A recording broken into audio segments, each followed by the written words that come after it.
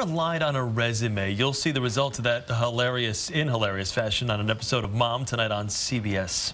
The star of that show is Allison Janney. I had the opportunity to talk to her about her success and her humble beginnings in acting. This is how you know Allison Janney now. Thought we could hang here for a couple of years, maybe even cash her social security checks. But do you remember her like this? I kind of like the old broad. Janney got her start on the soaps. Maybe we could just reminisce. Let's reminisce. Maybe I can remember. I can remember the bad accent. I think I did a bad Brooklyn accent as Ginger the maid. You do love your tea, Ms. Spaulding. They wanted two bumbling maids in the Spaulding household.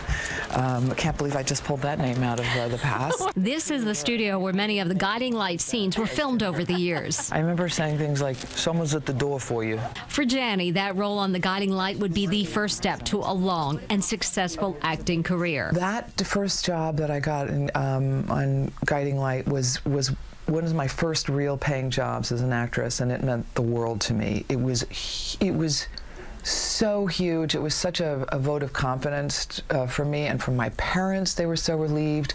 I could pay my rent. It would be just the beginning, from television to film to Broadway. Brilliant! Her latest success is as the mom on Mom, playing a role that's not quite a role model. I'm sorry, I, I don't want to waste your time. No, wait, wait, wait. Uh, what if we were to uh, go up to a hundred thousand?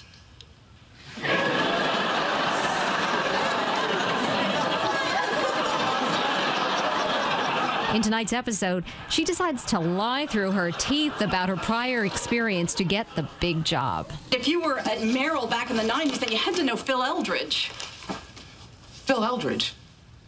Of course. Who didn't know Phil Eldridge? Guess who's running our bond department? Phil Eldridge? You just stay here. He's right across the hall. I'm gonna go get him. Yay!